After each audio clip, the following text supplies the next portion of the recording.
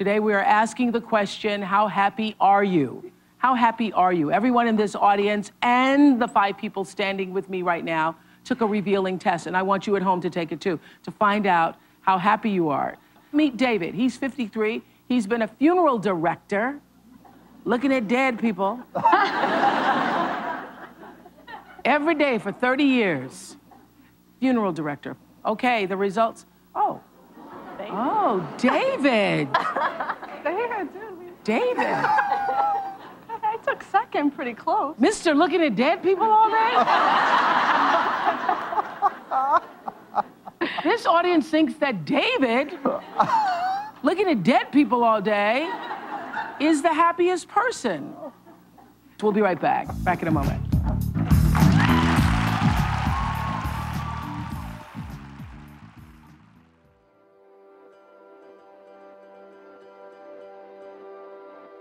I was 13 years old, and we had a new pastor come to the town where we were residing. And he preached his first sermon. He spoke for like 11 minutes, so he told me afterwards. And he gave an invitation for people who would like to accept Christ into their lives. And it just, I could hear this voice saying, You need me to be a part of your life. And so I made a decision that night to invite Christ into my life.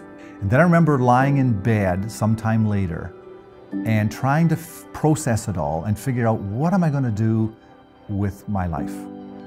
And so I hear him saying, David, if you will let me uh, lead your life, direct your paths, I will take you places you never dreamed or thought possible. And as a 13 year old trying to figure out life, I thought, this is a pretty good deal. And so I said, God, I'm going to take you up on this. And so that was the beginning of an incredible journey so I had two opportunities before me. There was um, Bible college or there was funeral service. Now we'd had some deaths in our families and I was impressed with the way in which the funeral home looked after things and it just, it, it sort of twigged my curiosity. So here's the interesting thing. So now I applied to Bible college, I applied to Humber College, I applied too late in the year. I, I was rejected in both places. So I had a year to kind of figure out what I'm gonna do. So, all right, I decided to take a job at the local uh, town hospital. It was one of the most incredible years of my life because I got to work uh, with some professionals who loved to teach, so they taught me different things. I got to work in the emergency ward, prepping people for surgery. I got into the operating room a couple times, looking after people after surgery. I got to work in the morgue. So I assisted pathologists with autopsies in the morgue. Little did I know that had my application to Humber College been reviewed that first year, if I'd got it in on time, I would have never gotten into the course because they were taking between 600 and 800 applicants each year they're looking at and accepting 115 into the course. I didn't have enough experience, but God knew. And so when my application went through the next year, automatically I went right into the top of the list and I was accepted the next year. That's God's plan. I didn't understand it at the time. Uh, and then I decided that, okay, if this is where God is taking me, this is the path He's opened up for me, um, I think it's important to take what gifts and abilities and talents that you have and you develop them to the best of your ability. Now, that doesn't mean that I was going to become the best funeral director there is. I'm not. But I become the best funeral director that I can with the abilities and talents that God gave me. And that's all He expects from us. That, I believe, is the call of every human being today. When I'm involved with funeral services, I know what's going on in people's minds. What they're trying to say in that funeral service is this person did what it was that they were created to do. Some people, a lot of people, miss that. We are all in ministry. It's not just the pastor behind the pulpit. We are all called to minister. And so He places us strategically, I believe, in the workplace.